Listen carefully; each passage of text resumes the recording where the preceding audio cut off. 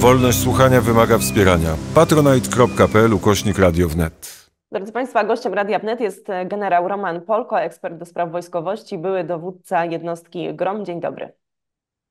Dzień dobry. No i może dzisiaj przyjrzymy się tym takim najgorętszym obecnie miejscom na świecie. Mowa oczywiście o Bliskim Wschodzie, a także o wojnie za naszą wschodnią granicę. Zacznijmy od Bliskiego Wschodu. Nie wiem, czy możemy mówić o pewnym przełomie, ale Izrael, mm, agencja Reutersa donosi, że Izrael przekazał, że jest skłonny zakończyć tę, tę inwazję lądową e, w Libanie pod warunkiem, no i tutaj właśnie o te warunki chodzi, pod warunkiem pełnego e, dostępu do e, libańskiego nieba. No i Izrael w tym momencie cały czas przeprowadza jeszcze ataki na Bejrut. Proszę powiedzieć, czy tutaj można liczyć na szybkie zakończenie tego konfliktu, czy Liban mógłby przystąpić na takie warunki Izraela? No tak, e, tak naprawdę nie wiem, e, co mamy na myśli mówiąc Liban, bo warto pamiętać, że tam organizacja terrorystyczna Hezbollah, a nie e, prawowite władze kontrolują trzy takie obszary.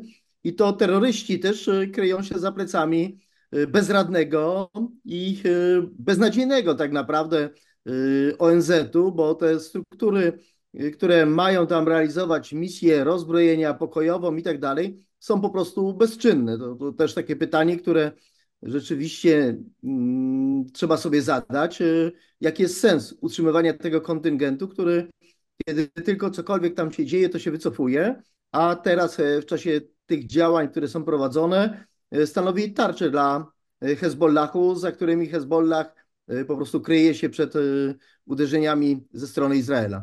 I otóż trwałego pokoju z tego raczej nie będzie. Niestety, ale ta nieadekwatna odpowiedź na atak terrorystyczny 7 października e, premiera Netanyahu doprowadziła do jeszcze większej radykalizacji tych struktur terrorystycznych Hamasu, Hezbollahu, Houthi, które ochoczą Iran e, zdominować w tym regionie świata. Jest to kośry, a Stany Zjednoczone przed wyborami czynią wszystko, żeby y, uspokoić sytuację. Mam nadzieję, że to się uda, no bo w przeciwnym wypadku rzeczywiście y, te tragedie ludzkie będą ogromne. Wspomniał Pan o organizacji terrorystycznej, jaką jest Hezbollah, to opowiedzmy trochę, mm, jak wygląda ta sytuacja wewnątrz Libanu dzisiaj. Czy jest jakakolwiek szansa, aby no, w, w Libanie, w tak pogrążonym już teraz przecież w chaosie i humanitarnym, i gospodarczym, no, aby mieć jakiegoś partnera do rozmowy? Jak wygląda faktyczny potencjał mm, obywateli e, libańskich dla Hezbollahu, no i czy oni mają jakąkolwiek alternatywę? No, Liban nie kontroluje własnego terytorium. Jest to państwo, które no, ma ogromne problemy i, i militarne, i gospodarcze nad kontrolą własnego terenu. No, krótko mówiąc, y, podobno przypomina w tej sytuacji również Jemen, który także nie kontroluje własnego terytorium, bo Houthi z terytorium Jemenu uderzają na e, chociażby e, konwoje czy, czy okręty e, w rejonie Morza e, Czerwonego, a wszystko to dzieje się za inspiracją przede wszystkim Iranu, z którym Saudowie chcieli zrobić porządek, bo warto tutaj przypomnieć, że to nie jest wojna muzułmańsko-żydowska, jakby to niektórzy chcieli widzieć, y, tylko problem jest między szyitami i sunnitami i tutaj leje się praktycznie krew y, cały czas i Saudowie, kiedy próbowali zbudować taką koalicję, która powstrzyma Iran przed tymi agresywnymi działaniami, to niestety ta koalicja poniosła klęskę. Stąd też myślę, że w pierwszej linii należałoby jednak uruchomić bardzo mocno dyplomację y, po to, żeby jednak y, wyciszać te, te wojny, te działania, które są prowadzone. No z drugiej strony no patrzymy na to, co się dzieje chociażby w tej chwili w Europie. Ta taka radykalna, czyli odpowiedź y, potężnym terrorem i terroryzmem na atak terrorystyczny doprowadził do sytuacji takiej, że również i w Europie te różnego rodzaju ruchy i te flagi uruchomiły się, jakby zapominając o tym, kto tak naprawdę to piekło, z którym teraz mamy do czynienia, y, rozpętał. Dyplomacja y, to jest jedyny sposób, żeby zaprowadzić tam y, spokój, i to oczywiście przekłada się też na sytuację samej Ukrainy, ponieważ Stany Zjednoczone, które mają problemy z Chinami w tej walce o Tajwan, teraz wspierają Izrael na Bliskim Wschodzie i to nie narzucając takich ograniczeń dotyczących użycia broni jakie narzucają chociażby Ukrainie, no, na, działając na kilku kierunkach, starają się wygasić przynajmniej niektóre z nich. I niedobrze byłoby z polskiego punktu widzenia, z punktu widzenia polskiego bezpieczeństwa, gdyby na tym wszystkim miała ucierpieć Ukraina. I zaraz e, przejdziemy do sytuacji na froncie ukraińskim, ale jeszcze nawiążę do początku pańskiej wypowiedzi. Pan wspomniał o tych rebel rebeliantach Huti mm, z Jemenu, o tych atakach na Morzu Czerwonym. To jest tak, że mm, one bardzo mocno zakłócały łańcuchy dostaw i w tym globalnym świecie im nawet my tutaj w Europie odczuwaliśmy skutki tych ataków. Powiedział Pan o Europie, o tych nasilających się e, ruchach skrajnie e, islamistycznych. No mamy sporo jednak islamu już dzisiaj w Europie. Czy widzi Pan tutaj takie ryzyko ewentualnie do E, no, po prostu ataków terrorystycznych, czy może powstania nowych e, dużych szlaków migracyjnych, bo jednak mamy i e, strefę gazy, milion uchodźców teraz w Rafach, nie wiadomo, czy oni będą mieli gdzie się podziać. Podobnie Liban to też jakieś ogromne, kilkaset tysięcy, nawet milion uchodźców, którzy no, są w państwie, żyją de facto w państwie upadłym. Czy tutaj takie ryzyko dla Europy pan dostrzega? Ta radykalizacja, ona dociera i do Europy, i do Stanów Zjednoczonych, bo rzeczywiście y, nawet to pytanie, które padło w jednym z uniwersytetów amerykańskich, czy y, namawianie y, powiedzmy do mordach na Żydów i, i masakrach jest zbrodnią, czy, czy jest ludobójstwem. I taka odpowiedź człowieka z władz uczelni, it depends, to zależy. Otóż no, to, to wszystko pokazuje, że mamy ogromny problem. Oczywiście też fala uchodźców. No i to, co jeszcze potęguje ten problem, to jest e, postawa e, chociażby Erdoana, prezydenta Turcji, który e, potępił zwalczanie terrorystów przez Stany Zjednoczone i Wielką Brytanię, nazywając to, czy mówiąc w ten sposób, że Amerykanie chcą zamienić Morze Czerwone w Morze Krwi. No myślę, że przede wszystkim good guys, czyli ci ludzie, którzy są w strukturach NATO, którzy chcą ładu światowego i spokoju, powinni ze sobą porozmawiać, no bo na razie widać, że więcej solidarności jest między terrorystami i tymi y, autokratycznymi y, y, rządami niż pomiędzy tymi, którzy chcą demokracji. Mm, to może przez Turcję przejdźmy powoli na front ukraiński, ale to wszystko jest ze sobą powiązane. No, Turcja jest z jednej strony drugą siłą w NATO, z drugiej strony teraz Erdogan mm, przekazał no, taki chęć dołączenia do państw grupy BRICS. Tam przewodnictwo ma Rosja. E, proszę powiedzieć, e, wspomniał Pan o tym, że niedobrze byłoby dla nas, jeżeli Stany Zjednoczone musiałyby być zaangażowane w kilka konfliktów. Ten pewnie najważniejszy z ich punktu widzenia konflikt o Tajwan, e, czyli wyścig o hegemonię z Chinami, ale i Bliski Wschód i tutaj Europa. Jeżeli faktycznie doszłoby do takiego przesilenia, czy Stany Zjednoczone mają tak dużo zasobów, aby być wszędzie w jednym miejscu i co mogłyby odpuścić jako pierwsze? Czy byłaby to na przykład Polska czy państwa bałtyckie, ta wschodnia flanka NATO?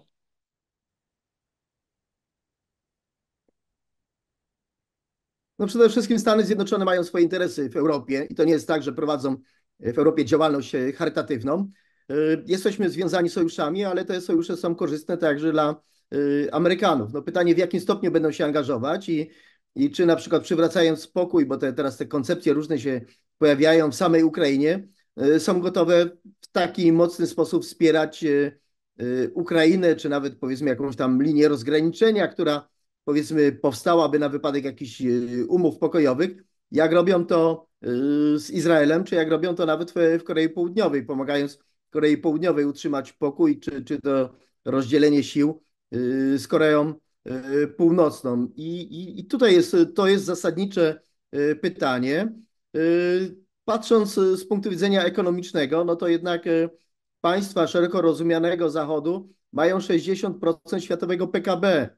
Y, to pokazuje, że te zdolności produkcyjne, możliwości mm, są naprawdę ogromne, no ale trzeba też mieć pewną determinację i wolę jednak e, działania w myśl własnych wspólnych e, interesów, a czasem okazuje się, i to jest świetnie pokazane też e, w książce Anne Applebaum, Koncern Autokracja, że tak naprawdę Zachód głosi na zewnątrz mocne wartości, budowania, wspierania, wzmacniania demokracji, a po cichu jednak e, e, szuka możliwości powrotu do tych interesów, e, które robi z autokratami, czy także z Rosją, no bo mm, trudno jest nam naprawdę też w Polsce chociażby zrozumieć, skąd takie ogromne fortuny rosyjskich oligarchów nagle powstały w krajach takich jak Stany Zjednoczone czy Francja.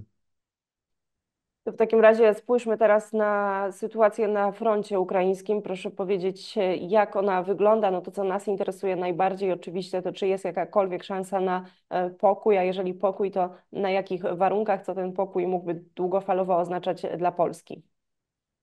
Od kilkunastu miesięcy jest e, to w istocie wojna na e, wyczerpanie prowadzona i, i w tej chwili od Zachodu zależy, w jaki sposób Ukraina i czy będzie się mogła tak naprawdę bronić. To, co ten pokój oznaczałby dla Polski, dyskutowaliśmy także w Radzie Bezpieczeństwa i Obronności powołanej przez prezydenta RP i te informacje, które, czy, czy te konkluzje, które żeśmy jako rekomendacje chcemy tak naprawdę przedstawić, że no, Polska nie może wspierać pokoju za wszelką cenę, który w istocie oznaczałby kapitulację. No, byłoby to nagradzanie terrorysty, bandyty, który zaatakował. Y, stąd też ta integralność y, Ukrainy jest ważna. A jeszcze ważniejsze jest to, żeby pamiętać, że Rosji tak naprawdę wcale nie chodzi o zdobycze terytorialne w samej Ukrainie, ale o budowanie nowego ładu, czyli powrót w istocie do tego, co było za czasów Związku Radzieckiego, że Rosja kontroluje y, i terytorium Ukrainy, ale także swoim zasięgiem próbuje i kontroluje te kraje, które dawniej były częścią bloku sowieckiego. Na to nie możemy sobie pozwolić jakiekolwiek odpuszczanie tego tematu no skończy się tym, y, czym skończyło się zaakceptowanie w istocie y, aneksji Krymu w 2014 roku, kiedy, kiedy Rosja po prostu poprzez zielone ludziki go opanowała. To w takim razie, jeżeli przyjmiemy, że no w, to nie tylko chodzi o Ukrainę, a o pewne no, pewien powrót do tego, co było w czasach ZSRR, to gdzie jakby pan przewidywał, albo gdyby to pan był strategiem i chodziłoby o interes strategiczny e, pańskiego państwa, e, e, pana państwa, gdzie by pan uderzył? Czy to mogłaby być na przykład ta wschodnia flanka NATO i konkretnie obwód królewiecki, bo to odcięłoby przecież i państwa bałtyckie, i dostawy broni z zachodu dla Ukrainy, czy to może być taki punkt, który będzie tym punktem, punktem zapalnym, który my teraz powinniśmy jak najbardziej wzmacniać? No przede wszystkim mm, na pewno pełniejsza kontrola Białorusi, chociaż ona i tak już jest bardzo duża. Y, przejęcie czy dokonanie jakiegoś przewrotu, chociażby w Kijowie, po to, żeby ta Ukraina y, zdemilitaryzowana, y, do której nie wejdzie sojusz NATO, która nie będzie w Unii Europejskiej, no tak czy owak wpadła w ręce Rosji, no to są cele strategiczne. Mołdawia, mamy teraz wybory w Mołdawii.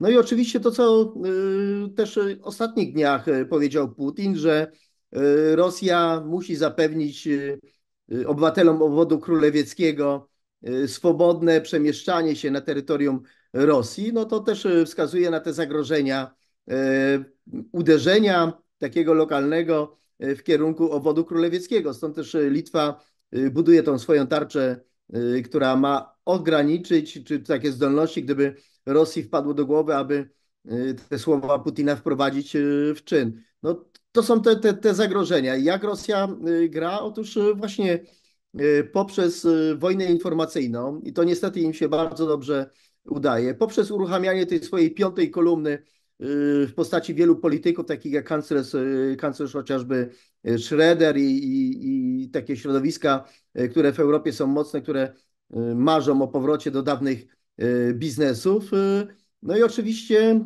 poprzez działanie pod obcą flagą, czy różnego rodzaju e, prowokacje, coś czego Rosja w istocie jest już, już znana, e, która w istocie ma doprowadzić też do rozbicia takiej spójności e, sojuszu NATO, czyli te konie trojańskie w postaci Orbana niestety też robią wrogą, wrogą robotę. To już e, na zakończenie, jak my jesteśmy e, przygotowani jako e, Polska? Pytam tutaj z jednej strony no, o ochronę tych najbardziej newralgicznych miejsc, z drugiej strony o pewne wnioski, czy je wyciągnęliśmy dotyczące tych ataków hybrydowych, czy rozgrywania naszych polityków na, no, na różnych szczeblach, bo my to niestety obserwujemy, prawda? Ta spójność polityczna w Polsce jest całkiem nie niezła. Tutaj akurat takich dźwięków naprawdę nie ma. Pytanie, jak to wygląda ze spójnością całego sojuszu NATO i Unii Europejskiej. No i z pewnością potrzebna jest ta ofensywa dyplomatyczna, którą też rozwija minister, chociażby Sikorski doskonale zdając sobie sprawę, że silnie jesteśmy siłą sojuszu NATO. No nie ma naprawdę mowy o tym, żeby Polska broniła się sama. No dzisiaj przy obecnym świecie państwo, które działa w Europie samo, no jest skazane w istocie na porażkę. I i myślę, że Polska naprawdę robi wiele dobrej roboty. Możemy czuć się bezpiecznie. Na razie rosyjskie wojska pod granicą Polski nie stacjonują. No ale tutaj ja wiem, że to zabrzmi trochę cynicznie, ale y, na razie to Ukraińcy przelewają krew za bezpieczeństwo Zachodu.